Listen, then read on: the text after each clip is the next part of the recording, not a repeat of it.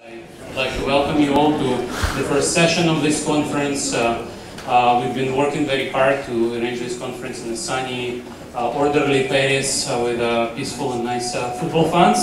And so far, actually, my biggest worry was not even the flooding of River Seine and, and, not the strikes, but the fact that the main building of Sciences Po has been closed for renovation. It's actually for a good reason. They told us that it was not safe to run a big conference there. So uh, maybe the, my biggest contribution to this society is that I saved the whole of you from uh, architectural risk. Uh, but uh, luckily, Institut Catholique de Paris has helped us with uh, uh, giving us this room for our plenary talks. Professor Philippe Aghion, who definitely doesn't need introduction in this in this uh, group his work both on institutions and on organizations. Thanks, thanks so much uh, for inviting me and very, very generous introduction. Uh, always embarrassing to live up to expectations. Um, so uh, I, I, thought I would talk a bit about my recent thoughts on uh, what we could call inclusive growth.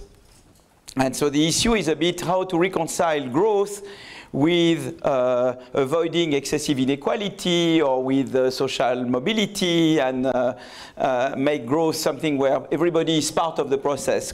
So there's been this word that I've not invented called inclusive growth, uh, this term. And how can you make growth inclusive? And so uh, uh, recent work uh, that you mentioned by Tony Atkinson, Thomas Piketty, Emmanuel Saez has documented a sharp increase in top income inequality uh, uh, in developed countries, particularly since the 1980s. So, for example, if you look at the share of income earned by the uh, highest income earners in the US, the top 1% highest income earners, you see that the share of income that they earn has sharply increased since the early 1980s. You, the same is true if you look at the top 0.1% uh, share of income, uh, uh, and you see the same, the similar thing. And so the, there, there is, I think the work is, there is no discussion. I mean, these facts are established. They are quite uncontroversial. And, uh, and the question is, what's, what, what's behind that? What do you make of it? What is the conclusion? And that's where people start discussing and, and uh, uh, not being on the same page. So various questions that you could ask is first, for example, why should we focus on top income inequality more than on measure, other measures of inequality? So is it, the, is it the right measure to look at and not like Gini or social mobility? And I will get back to that in a moment. Uh, uh, uh, another thing is that what are the various sources of top income inequality? I mean, is it just rentiers? Is it just that people, some people own capital goods and they just get rents from them? Is that the whole story or is there more than that? And are there different sources and you should treat them differently? And there is a third question I will not touch upon at all, is what should you do to design uh, inclusive growth packages? And that, but that I won't talk about here. I won't have, uh, I won't have enough time. So uh, uh the, some main ideas of trying to, to debate and to push are, are the following. Uh, the first one is that you know you have different ways to measure inequality. One is the share of income earned by the top 1% or the top 0.1% or the top 10%. That's one measure. Another one are broader measures like the Gini, measures that measure how far you are from perfect equality. So you could have the, you know, the Gini coefficient or you could have the, the difference between the mean and the average uh, wage or income or you could have the ratio of the the 90th percentile of income to the 10th percentile of income, etc. Okay? And you have a third one, which is social mobility, which is more dynamic, to which extent your income is correlated or not with your parents' income. Okay? And uh, that's already something. I mean, when you talk about inequality, which inequality are you talking about? Okay? So there I don't have to contribute myself, except that I've been thinking in those terms, but I'm not the one who, who just put that forward. There's been other colleagues, and I will mention them in a moment.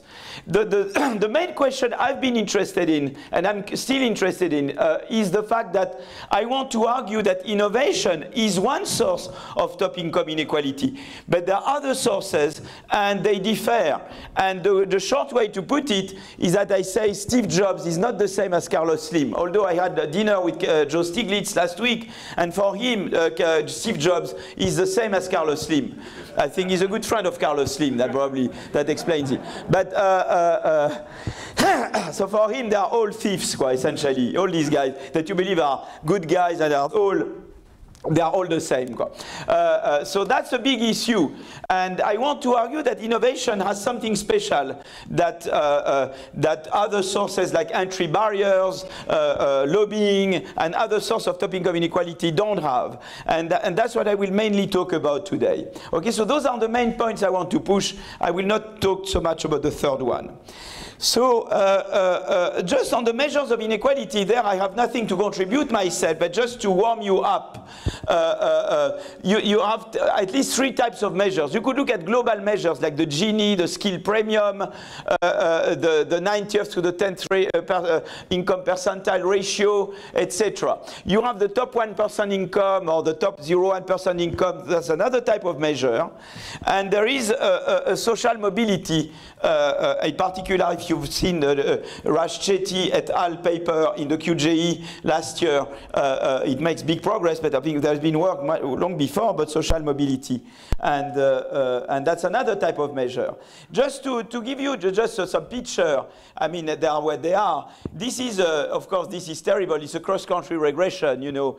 To show that now is an insult to everything. But still, you know, it's interesting to show because it just gives you, it, it gives you some ideas. Here, that's from an OECD paper. Here you have on the uh, horizontal axis a measure uh, of, uh, I think it's Gini, it's a measure of, uh, uh, of global inequality, and the, and, the, and the horizontal axis is an the vertical axis is a, is, a, is a generational earning elasticity. It's an inverse measure of social mobility, okay? So when you are higher up, is uh, uh, when you are more, uh, it's that your income is more correlated with your parents' income. Of course, you will, what's very interesting is that you find very much the countries that you would expect there.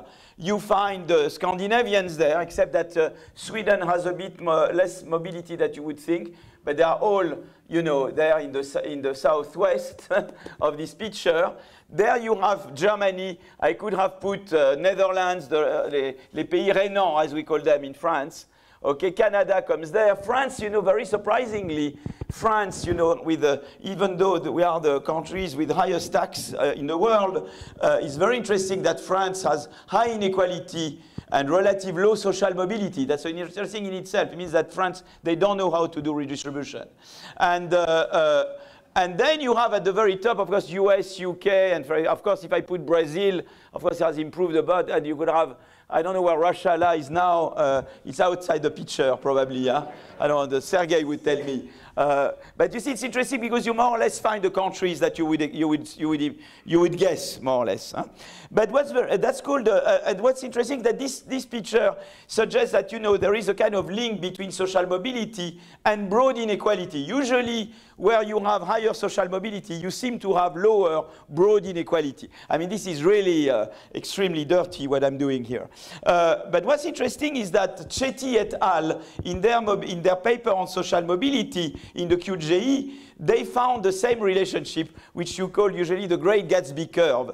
And what they did is that they looked at commuting zones in the US, and they did essentially cross-section, and uh, they look at the uh, income of the parent when the child is 15 years old, and that's in the late 1990s. And then they look in uh, 2010, 2011, when the child is 30, what is the income of the child? And they do that cross-commuting zone and they get a similar relation because but here except that they have a here it's a measure of upward mobility whereas before I had an inverse measure of upward mobility but they find very much a great Gatsby curve in their regression now you might say you know those are correlations what do they mean but it's interesting that you seem to find the same correlation in cross-commuting zone as you find cross-country. I don't want to take any position on that because I haven't done any work myself, but it's just to say that, you know, you can relate these measures of inequality. But what's very interesting in the Chetty et al., and that's from their paper, is that when you try to do the same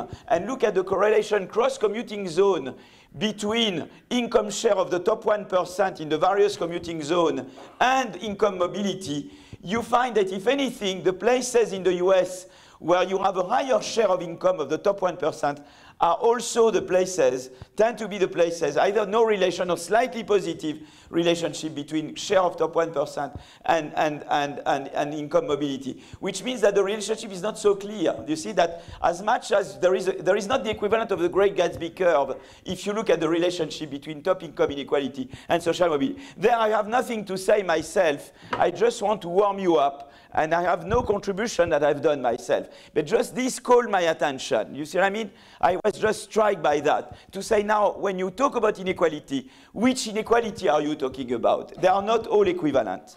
So now I get into my part, and my part is innovation as a source of top income inequality and uh, uh of social mobility. And that's the, what the work I've been doing over the past two years. And the first uh, work that I've done is joint work with Richard Blundell and uh, uh, uh another co-authors, Ufuk Akcigit, who is in Chicago, David Hémous in Zurich, and Antonin Bergeaud, is a student of mine at the LSE. And, uh, uh, and then what we did there, and I will go into more detail, and then I move to the Finland. what we've done here is that we, we try to argue that uh, innovation is a source of top income inequality. Why? Because you get rents from innovators. It's a Schumpeterian uh, framework. When you innovate, you get rents from innovation.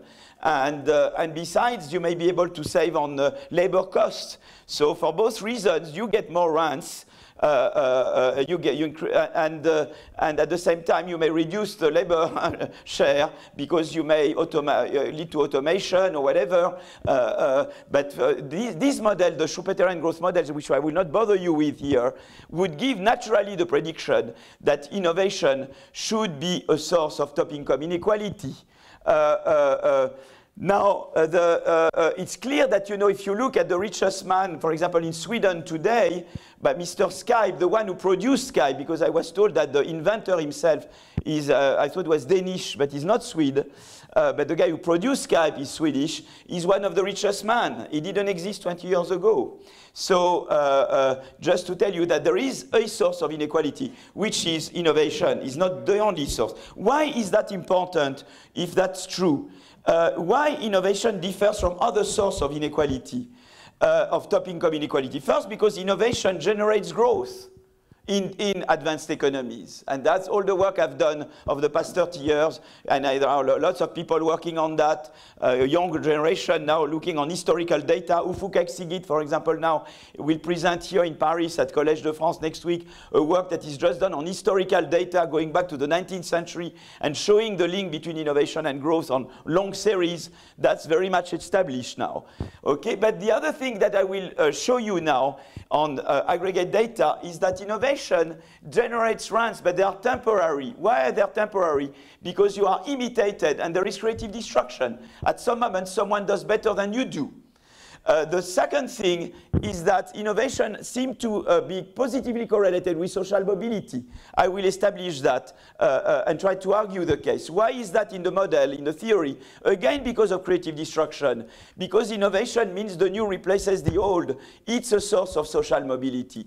And the third thing is that because probably of that, if you look at the relationship between innovation and broad inequality, at least on the US data that we have, we don't seem to find any relationship. So innovation doesn't seem to be related in the same way with you know, broad inequality and top income inequality, and it seems to be positively related with social mobility. So that's what I want to now show. So I will divide the rest of my talk in two parts.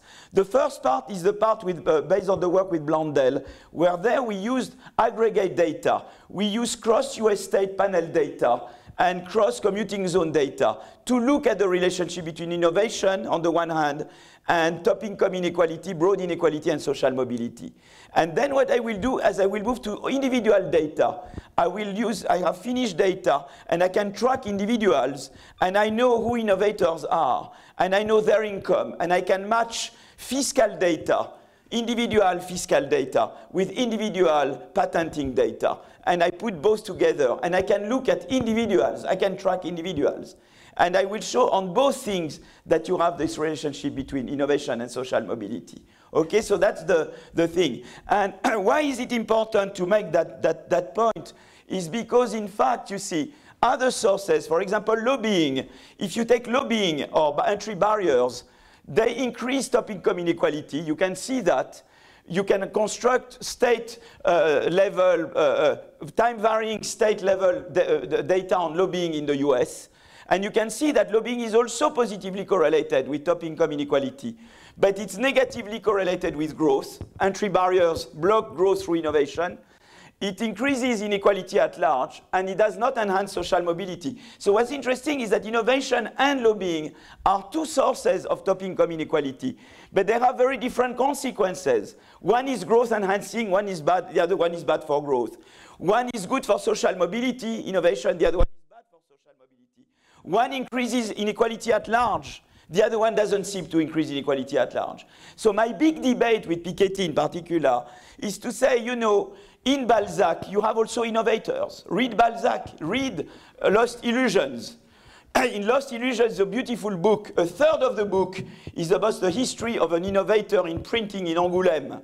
You, and uh, is all about property rights and innovation. So innovation is very important. They are not all rent seekers, not all top income. It doesn't mean that you should not have progressive taxation. Of course you should. But you cannot treat innovators the same way as you treat pure rent seekers. They are not the same animals. They don't do the same. That's my Carlos Slim versus Steve Jobs, which I disagree with, you know, and our discussion with Joe Stiglitz. Okay? So uh, let me start. Uh, let me now go to the to the first, uh, uh, to, the, to the one with Blundell. Okay, and then I go to the Finland. So what did we do there? It's a pity I don't have a, uh, I don't have a switcher. This is really, I miss, but that's no problem. Uh, uh, uh so, uh, uh, so what did we do there? We used aggregate data, okay? So we looked, we had US, in fact, we started cross-country panel, but there we could not do instrumenting and good things. The same is true if you do cross-country panel, except that you don't have a good instrumentation strategy. So we decided to move to cross-state panel data okay?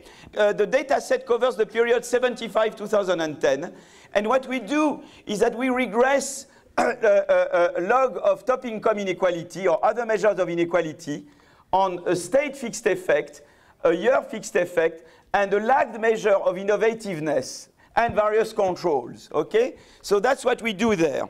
And uh, I don't want to bother you with the details. Uh, um, oh yeah, it's true. I have a, uh, uh, uh, so the, the, share, the data on the share of income owned by the top 1% or the top 10%, etc., it's, we take it from uh, Saez, Piketty, Frank, 2009, and that's where we get the data. The, what's more interesting is how we measure innovativeness. And we measure innovativeness by uh, looking at uh, USPTO data. We know, you know, how many uh, patents are being uh, uh, uh, granted every year in each state. And for each patent, we know the state of residence of the patent inventor, the date of application, and the link to every citing patent. We correct for truncation bias. Of course, the more recent patents are less cited, so you have to, to correct for that, okay? And uh, one way to measure innovativeness is the number of patents in a state. But you could say, well, some patents are very good, some are very bad.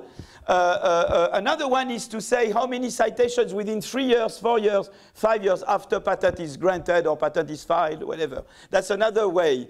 Another way is, is a dummy, is the patent among the 5% most cited patent in that year, if you look from 2010, for example. Or another one is the total citation counter corrected for the truncation bias. Or an, another one is a dummy for patent has been renewed. Good patents are renewed, bad patents tend to not to be renewed. You have other measures generality of a patent, uh, originality of a patent, and they all work pretty similarly.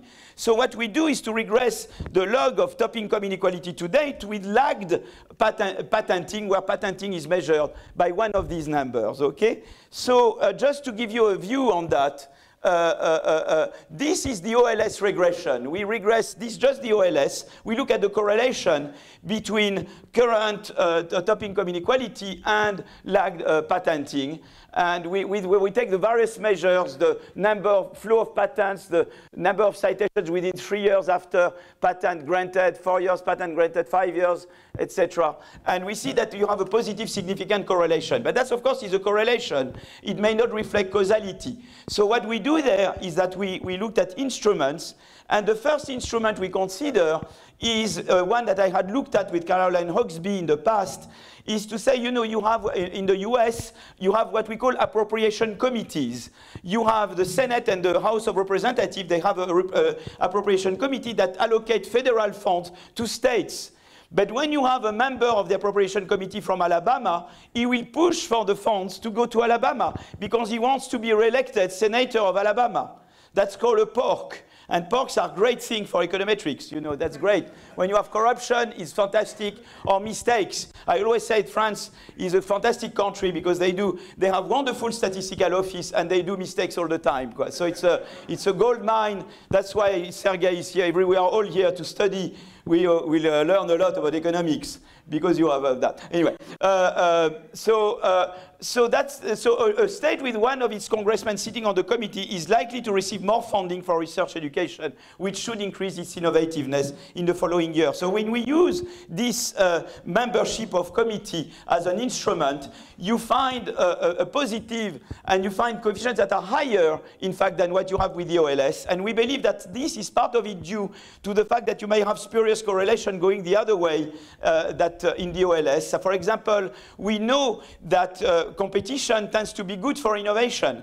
If suddenly you increase competition somewhere, it will reduce the rents to a successful innovator, but it will, it will stimulate innovation. So that might be something, you know, a source of negative correlation that we remove when we go from OLS to, uh, to IV. You see, the, that the one I just mentioned it was the inverted U paper with Richard Blundell.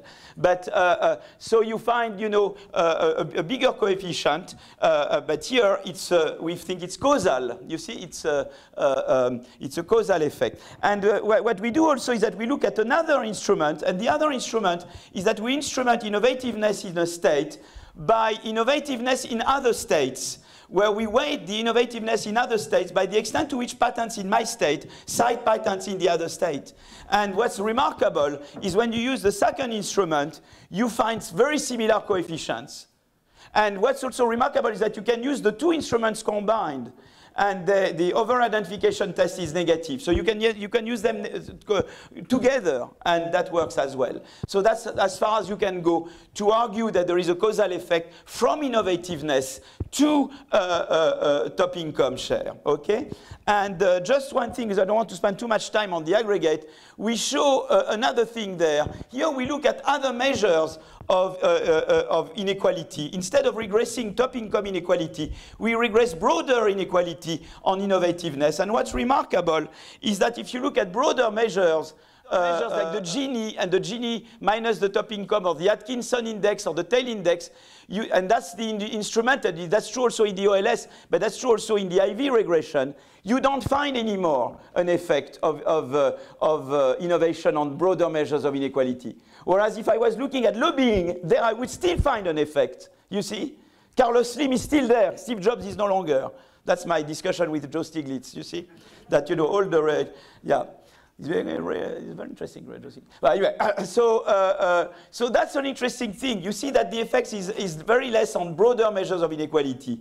And, uh, uh, uh and, uh, and another thing is also, so you get this kind of picture. Here I represent states years, so by innovation percentiles and, uh, and uh, the, the, the, dark gray is the share of top income, and here is the Gini, my, uh, where I exclude the top 1%. And you see there is no correlation between the, the innovativeness measured by the number of patents in the state per year and, uh, the, and the Gini 19. Whereas there is a clear positive correlation with, uh, but here it's in the instrumented, so it's not the OLS that I show. That's the, I represent the results from the instrumented regressions. So now another one you can do is that you can look at lags. And in fact, in fact, this picture doesn't have the six-year lags. All the lags seem to be matter. But if I started, and I have another picture I will show later, if I put the six-year, seven-year, eight-year lag, you see that innovativeness uh, more than five years ago doesn't matter for current top income inequality. So it's temporary. That's very much in line with the Schumpeterian view that, you know, the effect on rents is temporary, tends to be temporary because you end up being imitated or someone or superseded by someone else.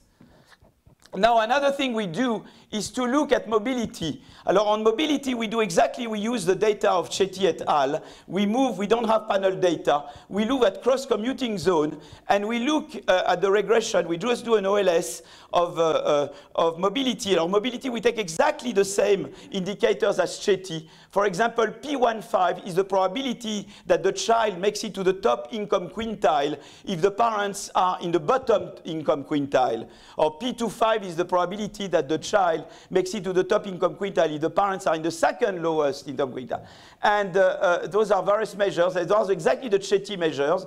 And here we put innovativeness and uh, measured by patent per capita. And we see the very positive, consistently a positive significant correlation. But here it's not instrumented, it's a correlation. You see? So, uh, uh, uh, in fact, you see that innovation and social mobility are positively correlated. But here, that's all what I can say is that there is a correlation. I cannot talk about instruments because I don't instrument the social mobility. But at least it's interesting that I have this positive correlation between innovativeness and social mobility. Okay, so uh, uh, uh, also what's very interesting, and, then I want that makes it Schumpeterian, is that the, the, the correlation between innovativeness and uh, social mobility is driven by what I call entrant innovation. What is an entrant innovation? When I look at a patent, I know the history of the patenter. So I know the, if the, the, the, guy started to patent last year, or is a, is, a, is a kind of guy who has been around for a long time. And I see that it's mainly entrant innovators that drive the social mobility, not the incumbent innovators, which is very much in line with the Schumpeterian story of creative destruction. And that's what you find here.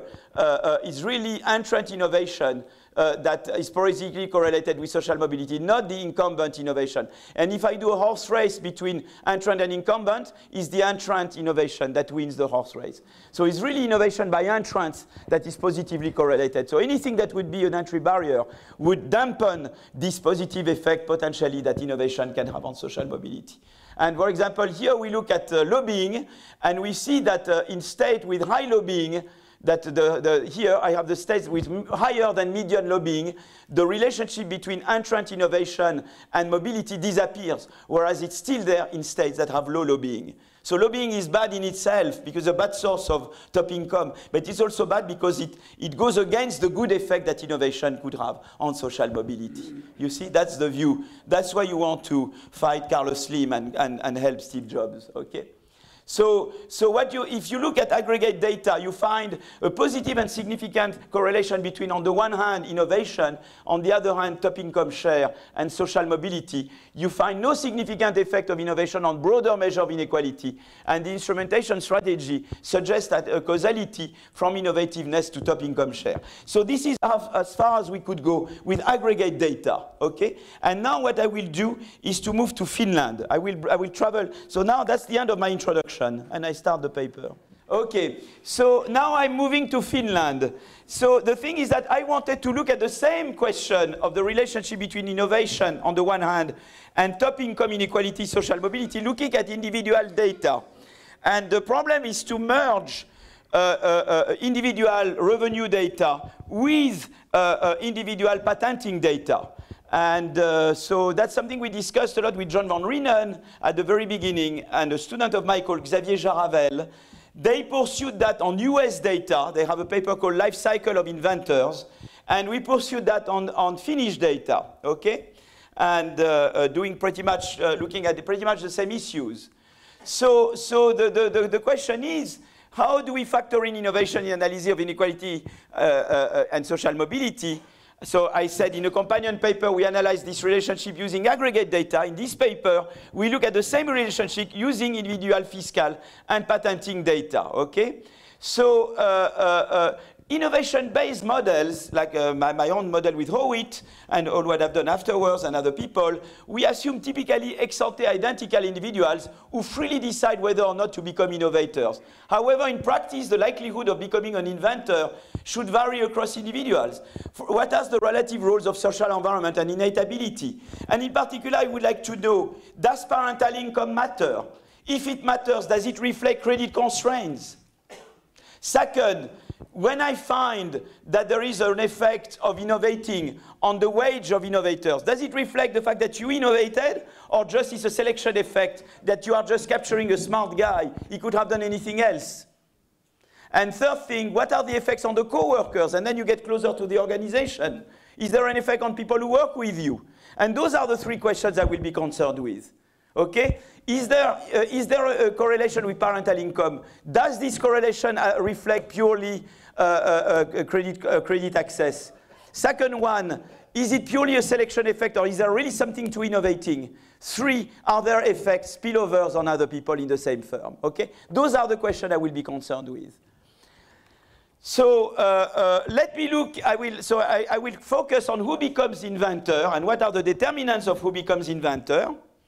And uh, I will then look at the social mobility of inventors with, with, uh, versus non-inventor. And what we do in this Finnish uh, study is what's very interesting is compared to the American study, we can merge individual data on income, education, and other characteristics from Statistic Finland with patent data. But in addition, we can add two more data sets. We have firm level data so we know who are the co-workers. We know the effect it can have on the people at your level or, or junior manager or senior manager or entrepreneurs, owners. You see, that's something we add. And the other thing is that we have IQ data because the military the service is compulsory in Finland and therefore, you have IQ tests for all males. If I was in Israel, I would have that for my cousins. You know, in my family, only women have done military service when they're in Israel. Whereas I managed to escape it in France. Anyway, well, I won't tell you about that. Okay, so uh, uh, I got very sick the day before. You know, it's amazing. Huh? It's funny, no? So, uh, uh, uh, so I, I, want to look first at the at the probability of becoming. I, I will. So before I don't want to go into the findings, and there is a whole literature on that. So in fact, there is a, a, a the empirical literature is very thin. There is a paper by Pierre Azoulay in 2010 who looks at the effect of uh, when a star dies. What are the effects on subsequent patenting by co-authors? Okay, a QJE paper 2010. My student Xavier Jaravel and his co-authors look, uh, uh, uh, look at that by, by merging with uh, uh, IRS data, and they can look not only at the patenting but also at the income of co of co-workers. And they don't look only at stars; they look at all the whole population of inventors. Okay.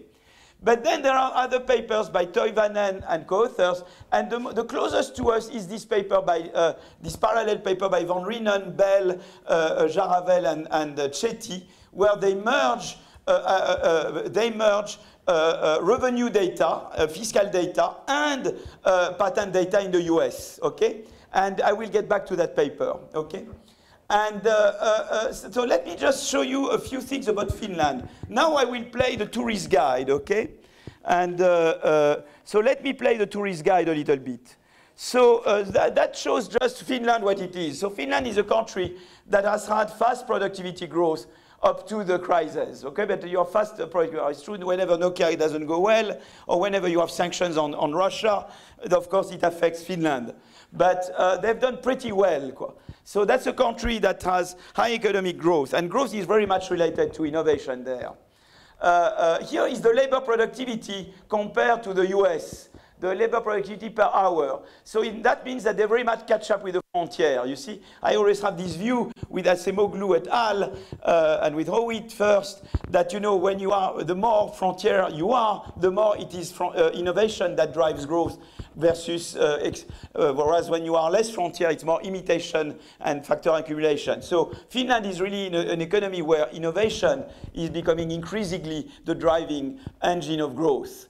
That I show you again the same picture as I showed you the Great Gatsby to show you just that Finland is among the least is the least uh, among the least unequal and the more social mobility country worldwide. Okay, uh, so of course I'm talking a very different country from US, and still we will see that there is a very similar curve that we will see. So it's amazing. Huh? If just remember this great Gatsby curve, Finland is there and US is there. Okay, nothing could be more different in that picture than Finland and the US. Okay.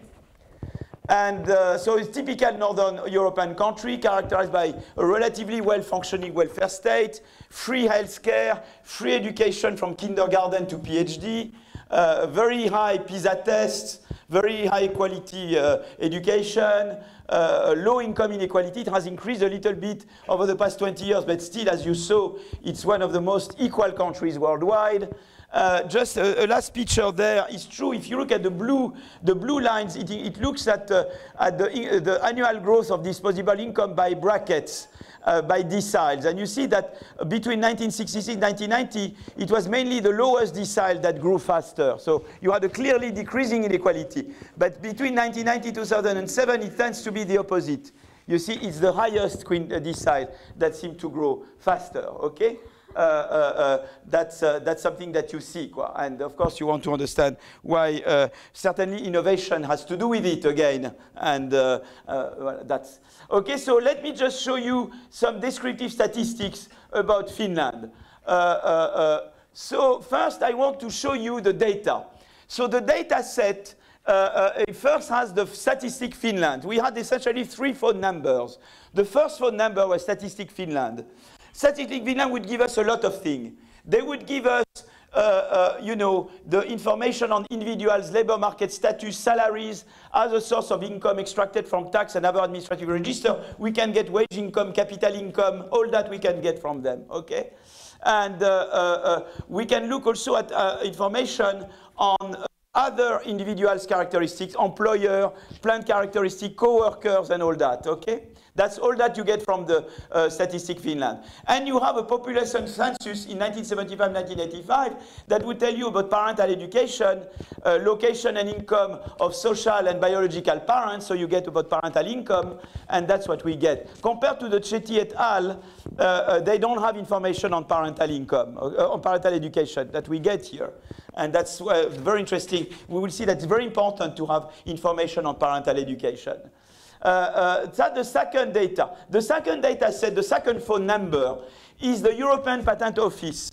So that provides information on characteristics such as the inventor's name, applicant name, like we had before in the paper with Blundell. Uh, we collected patent information on all patents with at least one inventor who registers Finland as his or her place of residence. Okay? And all that up to 2012. And the third phone number is the military. And the military, they give you IQ tests, and uh, they take three tests. They have the visuospatial IQ, which is the, one, the most exogenous, is, is the one least affected by parental characteristics that you can observe. And then you have the quantitative, the arithmetic I, uh, IQ test, and you have the verbal IQ test. And so we, we, our preferred measure is the visuospatial because it's the most exogenous. But we also look at, you know, a combination of the three as another measure. Okay? And all uh, uh, males around the age of 20 mostly take the IQ test, okay? Because they are enrolled in the military. Okay, so the linking of all data but the patent data was done using the individual and firm identifiers. The linking of patent data to individuals was done using the information on individual name, first and surname, employer name, individual address, or employer's address and year of application. In fact, it's as if here in France we could uh, map, so those who know DADS and uh, uh, uh DGFIP, is as if you could get DGFIP and DADS together, okay? And then merge with patent. In France, it takes forever to, to do that. And there you get it, you know, for free. And we don't, uh, and you don't know in France about parental characteristics, whereas in Finland you do. Okay, so uh, uh, the, we use two main estimation sample. So for the who becomes regression, we use data on individuals for which we have IQ data. For the rent regression, we use data on individuals who work also in the private sector, particularly where we look at co-workers, okay? And, uh, uh, and so the, uh, for the who become regression, we have 700,000 individuals. And for the, uh, when we look at co-workers in the wage regression or social mobility regression, we go down to the private sector, and that's 350,000 uh, individuals, okay? So uh, uh, uh, some descriptive statistics. Let me go right away with uh, some uh, figures because I don't want to bother you with numbers like this. So here I show, you know, by quintile uh, in terms of education degree. And, and, the, and, on the vertical axis, you have the probability of inventing. And what you see that to, if you have a PhD in science, you are much more likely to invent than if you don't, okay? And uh, uh, that's not a scoop, but you know, it's, it's reinsuring, okay? Uh, if you say all, all, that is to tell us it's good to have a master in science, okay, fine, good. But it's, uh, voilà, at least we are, voilà, it's, uh, it's okay. Quoi. So here we show IQ. What's very interesting is that, and that's the uh, visual spatial IQ. And you see that you have a convex correlation between IQ and uh, inventor. Okay, if you are uh, high visual spatial, you are much more likely to be an inventor. So IQ matters a lot. IQ is absent for the Chetty et al. Uh, it's, we have the IQ, okay? Uh, uh, uh, then you can look, you can merge IQ and educational. And you see, as, as in France we say, it's better to be uh, healthy and wealthy than uh, not wealthy and not healthy. Hein, but, vaut mieux être riche et en bonne santé que d'être malade et sans sous, comme on dit. Anyway, so, so, so uh, uh, that take from a French comic, but I won't tell you which one. Uh, so uh, if you are uh, highly educated with a high IQ, you of course you are at the top. But what you can see is that if you are conditional on, on, on having a PhD, you see IQ on top of it doesn't make much of a difference. Of course, IQ is already a lot contained to the fact that you got the PhD, of course, okay? If you are at the lower level and you make it, it's really because you have high IQ, okay? If you were just, you know, uh, you just innovated and you have no education, you must have had a good IQ, and it's all captured by the IQ. Okay, so uh, I will get back to the link with the father income, but you can see already a kind of convex link. It's good, it's positively correlated to have a father in the top window, which is in itself is quite striking because you're in Finland and not in the US. I will get back to that. And then I have the, what I call the piano, and it's a sexist piano. Why is it a sexist piano? Because you see, you have the big bars and the small bars. So forget about the small bars and look at the big bars. That's the, that the father, this is the father income quintile. And you see that overall, it's better to have a father in the higher income quintile than a mother. But for any father income quintile, it's like it's better to have a mother in the top income quintile, and that's the small bar, you see? So this is the, that's the mother income quintile for any father income quintile. So the father income quintile, that's where the father is in the lowest, and within that you have mother in the lowest and mother in the highest. So both matter, but father seems to matter a bit more than mother, which is already very interesting, because if you had a pure credit constraint story, both should matter equally, and they don't. Now you could think it's because mother is more unstable than father, but even if you restrict to mother who have a stable job, you find the same thing. So that already tells you that it's not credit constraints only. If it was, they would be much more symmetric. It would be just the income that matters. Why should there be an asymmetry between father and mother? Uh, now I get to the more and more uh, the, the thing. Here I, I, am picturing the relationship between, uh, uh, uh this is the relationship between, uh, that's the Chetty et al. picture, that between the, you know, parental income percentile and uh, the probability of being an inventor, or the number of inventors per 10,000 inhabitants. That's the Chetty et al. figure. That essentially, if you have parents who are not in the top income, you have very low probability to invent, and then you take the elevator very sharply there, okay? That's, that's, the, that's the US picture that they have. And they claim that this reflects misallocation, okay? What's remarkable is that if I draw the same picture for Finland, I find something which is pretty similar. You see here again, at the highest income of parents, it, I take the elevator. And that's remarkable because in the US, we know it costs enormously to put your children in a university. And uh, we know that tuitions are, you know, unaffordable increasingly. Goldin and Katz have written a lot and other and uh, my, co my, colleague Mandy Paley and others, and um, Angrist, uh, all these people have written about that. Whereas in Finland, you don't pay a cent for education. So you would have thought that, you know, it should be completely flat there. Although it's true that here, you take the elevator already here. You see, compare this, this curve with this curve. Even at lower level, you, you, you still have a, a, higher probability of being an inventor in Finland. But still, you still you, you have this effect at the higher uh, income. Okay, and you want to know what it is. Does it mean that credit constraint matter after all? So let me keep going. So that I put this curve again the same. That's the Finnish uh, curve. Huh? Okay. But now what I will do is that I will, I will split because I have something that they don't have in the US. I can split between parents who have a PhD in science and parents who don't have a PhD in science. And what you see is that the elevator is, is mainly linked to having a father with a master in science. So if I have a rich poet uh, uh, uh, uh or, or, a gigolo as a father, okay, doesn't help me much. Quoi. It helps me if I have a father a, uh, who has a, a, master's in science. So that's interesting, is that a lot of it is picked up by the education of the parents. We will see that in the regression. For the moment, I have not done any regression, okay? But that's something they cannot tell because they don't have parental education. Okay, that's interesting. And here you have again IQ and parental education. So of course, those who do better is again the story of the good witch. You know, the guy was lucky. He had a good witch saying you will have a high income father. Another one who said you have an educated father. And the third one said you have high IQ. Of course, these guys, they do very well. Then goes the people who, when I say high IQ, is the highest decile. Those, the other ones are still high IQ, but they are not the highest decile. So here is someone who is not in the higher decile, but still has an educated father and there again, he takes the elevator. And here is someone who has high IQ but, uh, but low uh, education father, and that has uh, no, nothing, you see. But you see, primarily, parental education matters, and to a lower extent, IQ matters. And that's what you see in the picture, okay? But at least you can decompose. But at least already you can feel that it's not all credit constraints, because if it was just credit constraints, it would not be linked so much to parental education, okay? So uh, uh, uh, what now is very interesting is you could say, well, you talk about inventor. What about becoming a medical doctor? And so here I do exactly the same. I say, what is the probability of becoming a, a medical doctor? And there you see it's much more like the, uh, the curve in the US. It's much more socially driven. So we want to know now if you become a medical doctor, if your father is a medical doctor. We are looking into that. But what's very interesting is that this curve, if you look, if you compare the innovation one, you go up earlier, you see? This looks very much like the inventor for the, in the US. Quoi.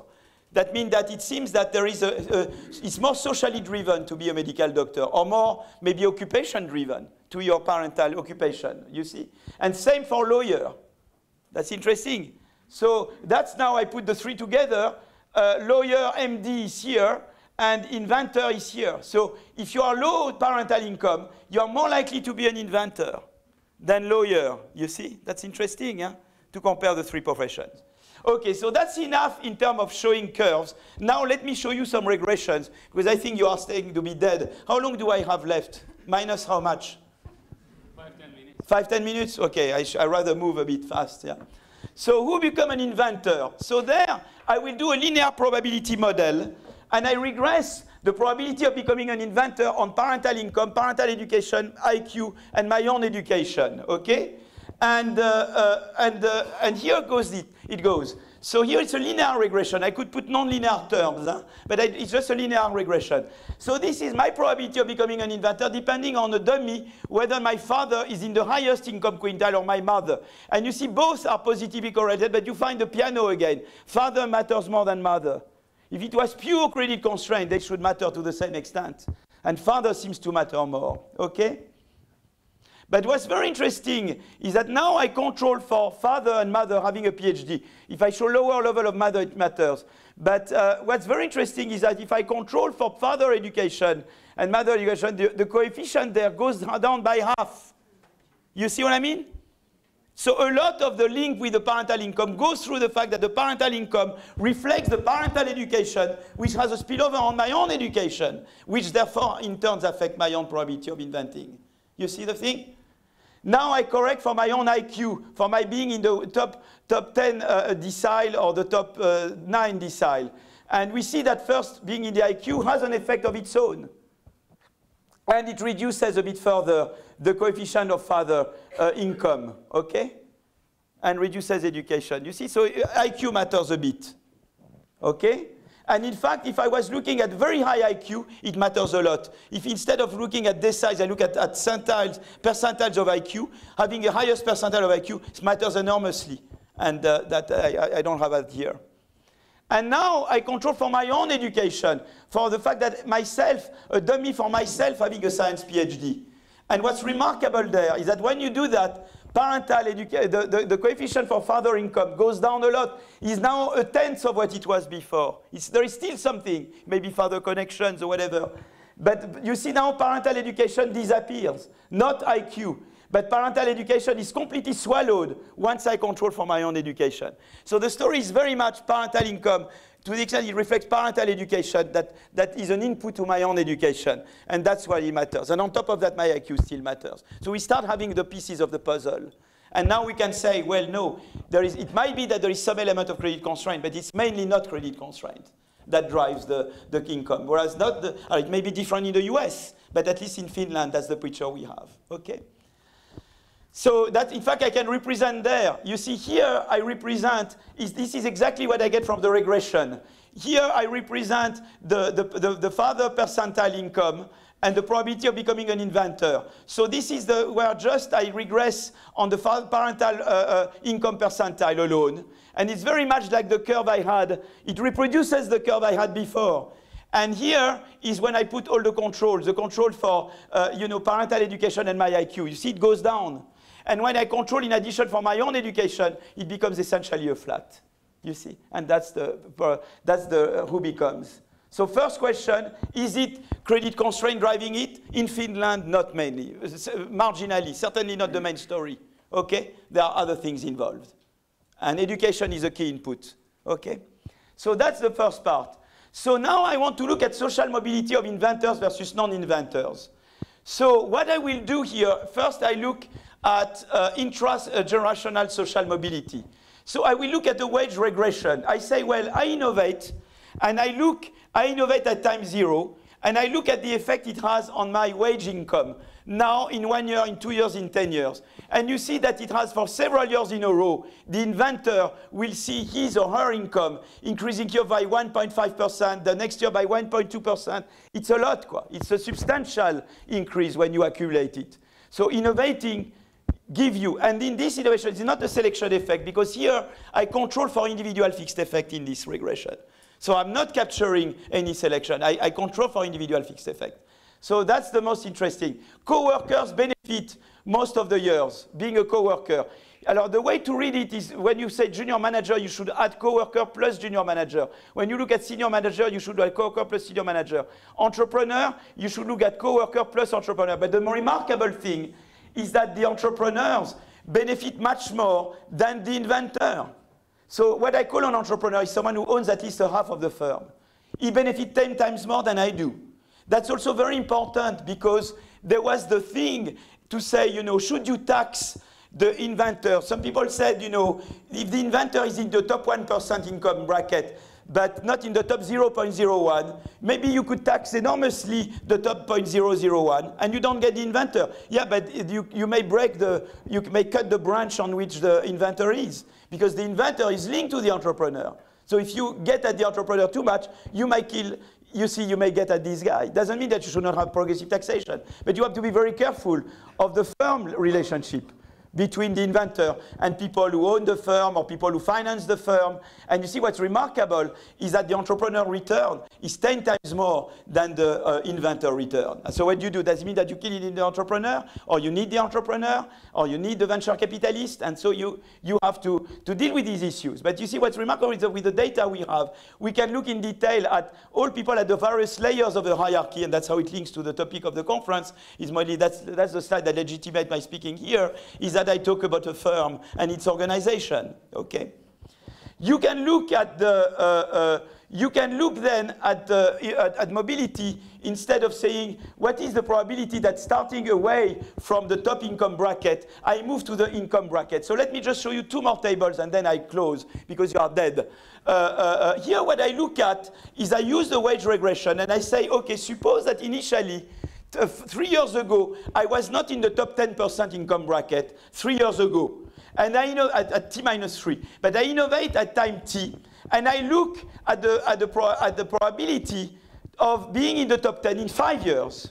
And what you find is that if you start the, so the, the control group is the non-innovators that were not in the top 10. Com take two people, none of us, uh, Sergey and I, we were not in the top 10, but Sergey innovates and I don't. This tells you that Sergey has 28% more chance to, be, to make it to the top 10 than I do because Sergey innovated. So that's a huge number. And here I correct for uh, age, year, region, parental income, parental education, your own education, and it goes down to 1.8, 18%, which is a big number. So when I mentioned before social mobility, here you see the social mobility. You see this. I innovate, I, I go up, I'm more likely to go up. And this is the, in terms of the intragenerational, I look, I compare myself in five years to myself now. But you can look at intergenerational mobility, uh, like Chetty et al., and you can look at your parent income and your own income. So you look at your parent, uh, your income at age 35, how it depends on your parents' income in the, in the survey that you have, in the census. And uh, I don't want to get, the, the main thing that you get is that having a father in the top percentile, the father percentile, of course, has a positive effect, direct effect on your probability of being in the top percentile. You see what I mean? But uh, what's interesting is that being an inventor gives you an enormous boost there. But of course, if you innovate, the other thing interesting is that you have a negative interaction, which means that if you innovate, it reduces the correlation between your percentile and your father percentile. So not only innovating is a fantastic elevator, but it reduces the, uh, the, the, uh, the link between your income and your parental income. Now, it's true that to be to innovate, we saw that it relates to parental income, but essentially through the education channel, not through the credit constraint channel. And uh, just one word on this regression. Uh, uh, this, I didn't have panel for this one, so I could not control for individual fixed effect. So what we do is the same method. You see, we have, you know, we have uh, graduation for, you know, we have uh, percentile or deciles for IQ, for parent education, for child education, for, uh, and, and we create cells. And uh, in each, and we only consider cells where we have an inventor and a non-inventor. And we take as a control group the inventor, the non-inventor in the same cell as you are and we see that the results are, are completely robust. You see, so here is when you take as a control group all the non-inventors, and here is when you take as a control group the inventors, the non-inventors in the same cell as you are. And uh, we see that the results are still robust. So that's, that's to deal with the selection issue. So the, the, the main takeaways is that first, you know, uh, uh, there is a correlation between parental income and becoming a mentor, even in Finland, but it goes through education, not much through credit constraint, okay? Education seems to be the main, uh, the main channel, and IQ also matters, okay? Second is that being an inventor increases both intragenerational and intergenerational social mobility, and third is that you affect co-workers and particularly entrepreneurs who finance you get much more than you do get. And, uh, and so the, just to say what would be the future work, the future work that I would like to do, uh, now I'm blocked. Uh, and it's strange that I can go up and not, uh, you see, that's, uh, that Lenin, you know, one step forward, one step backward. Doesn't work with me. Yeah, exactly. Yeah, I tried it, but uh, doesn't work very well. Uh, the, the, main thing we'd like to do here is to, is to do more I.O. Is that, you know, we know competitive sectors, and uh, we know some sectors are more competitive than others. And uh, with Richard Blundell, we are exploring it. We're also, also to explore it here is that to look more into organizational of the firm, size of the firm, how does it matter, but also whether your firm is in a highly competitive sector or not highly competitive sector. And we want to look at the triangle uh, uh, uh, innovativeness, uh, measures of inequality, the three measures I considered, and to put at the third term the degree of competition, market structure, and to really understand more this triangle. I think that's one of the main uh, issues ahead to look at this. Uh, to look at this. But you see, uh, the, the, bottom line on inequality, of course, what I would like to do next, the other thing, is to do taxation and innovation. It's remarkable that if you look at the Mirrlees review on tax reform, which is a huge thing, you have all the key people in public finance you know, Blundell, uh, Mirrlees, uh, uh, Diamond, Piketty Saez, uh, um, Chetty, all of them were Diamond, Peter Diamond, all of them were part of it.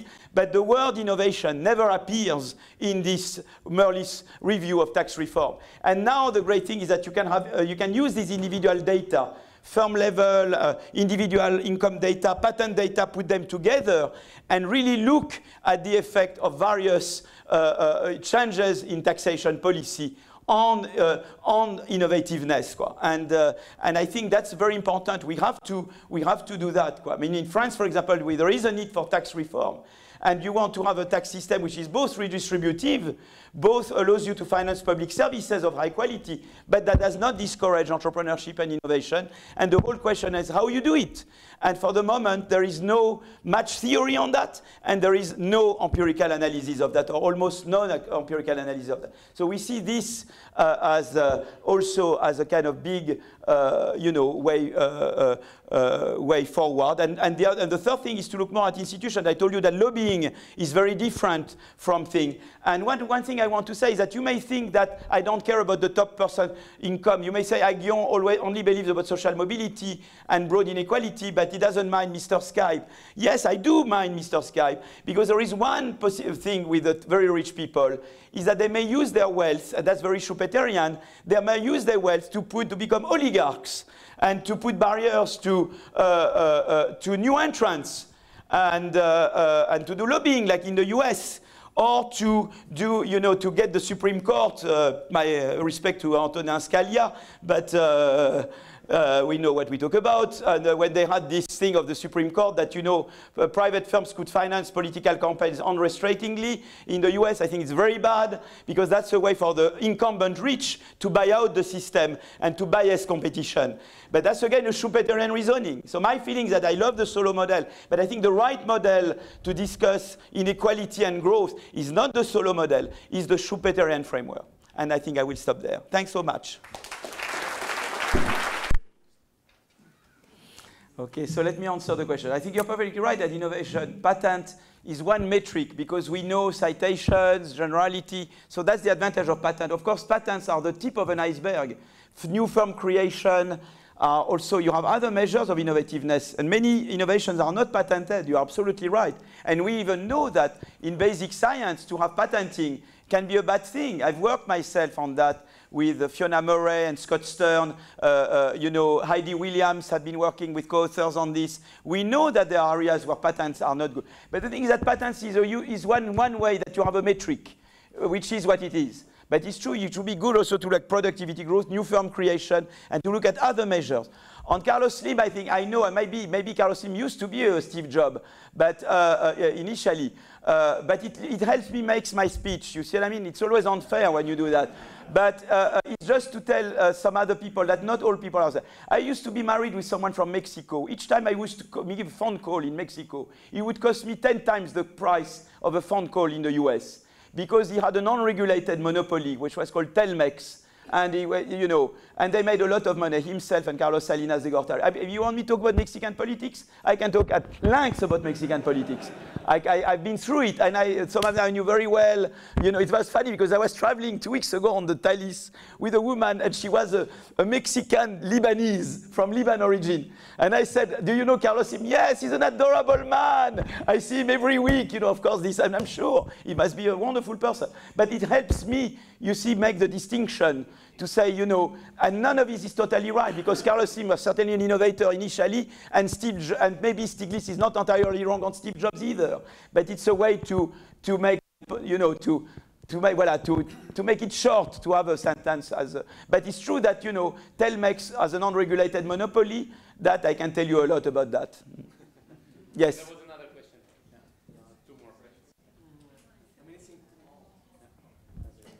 Uh, I mean, the data set on Finland is, is impressive.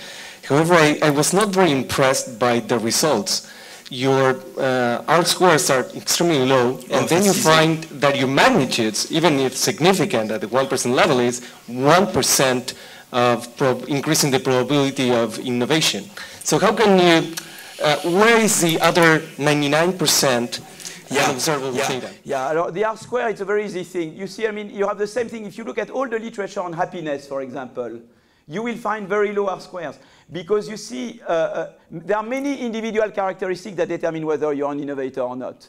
And so the same, and they get the same problem. In fact, it's very nice because if you look at the Chetty paper, they just don't show their R squares. But in fact, I know exactly what they are. They are exactly the same as ours, okay? And, uh, uh, uh, but we show them, okay? But we, because we know that it's like, it's like happiness. If you do all the empirical work on happiness, there are many things that make you happy and unhappy. But, uh, uh, uh, but, but you see what I mean? But R squared, there is a whole literature explaining to you why R squared is not a relevant measure. You see what I mean? I show the R squared because I'm honest. I mean, the magnitude is, uh, I think it's an important, I think it's, uh, yeah? Well, I mean, the magnitude on what? On the probability of becoming an inventor, but the what's important is the, there are many things that make you an inventor or not, but I look, first I find significant and I see how much it's reduced. It's qualitatively. And what's interesting is the way to compare is relatively, are you 10 times more? What's interesting is that if you are a father in the lowest percentile, you are 10 times less likely to invent than a father in the highest in the highest. So the way to look at those is in relative terms. That's the way people reason. I have a father in the highest percentile, I'm 10 times more likely. But there are many things that determine whether I'm an inventor or not. I I That's the right answer. That's the honest answer.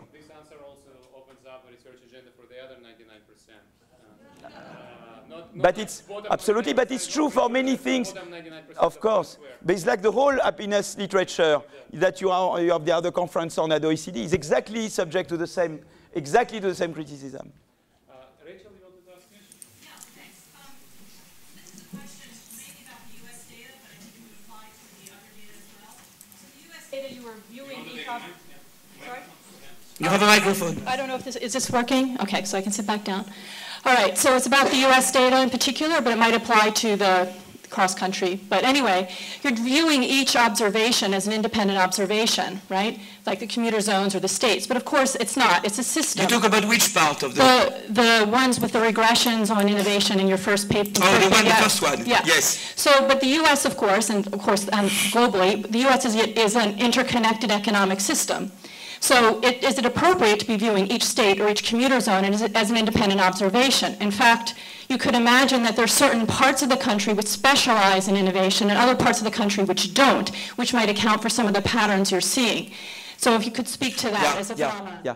So we have a very, uh, we control for state fixed effect. We control also, we have uh, uh, time, uh, state-specific time trends, you know, for agglomeration effects.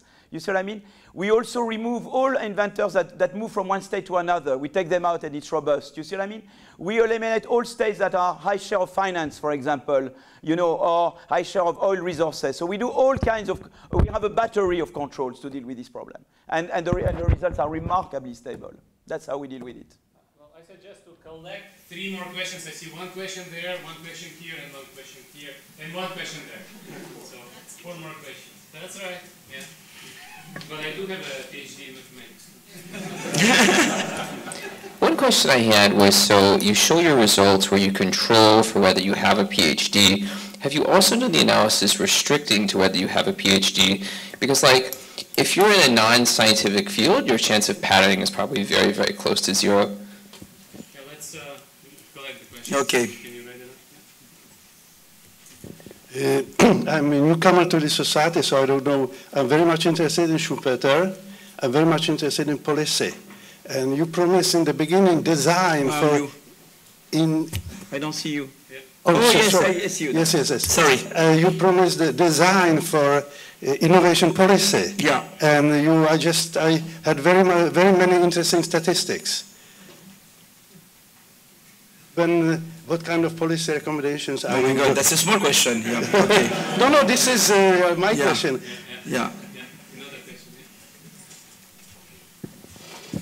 Thank you. Uh, well, it's a, it's a great story about uh, um, the innovator.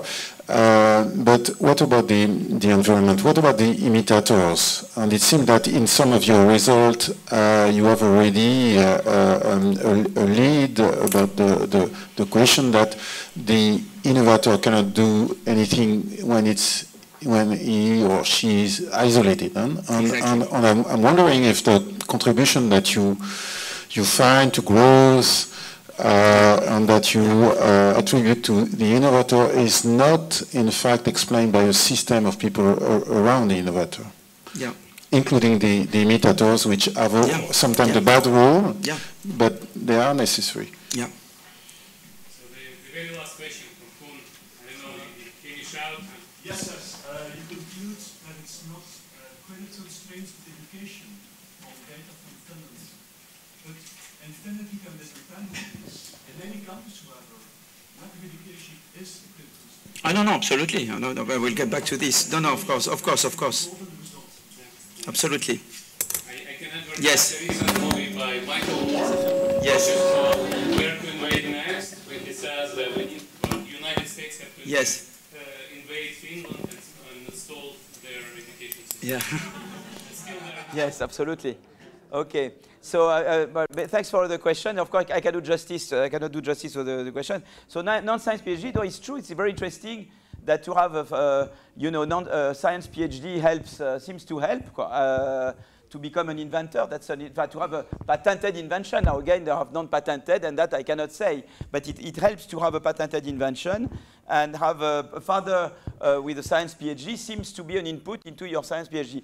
Uh, what's very interesting is that IQ is also one, and, and uh, if I look, if I regress my IQ on the all the parental, on the observed parental characteristics, they all together account for the less than 7% of, uh, of my visuospatial IQ. So That's very interesting, that IQ is still on top of it, also an input. So it seems that having science PhD and IQ seems to be, uh, uh, seems to be inputs but doesn't mean that you don't have a chance. You still have a chance if you are non-science uh, PhD, and IQ is, is still. Uh, but, but I think uh, uh what would get from that is that, of course, education is important. Uh, uh, that's for sure would be would be a rule, and there is a premium to becoming an inventor. That's for sure. the the second one, the policy, but you know, policy for innovating.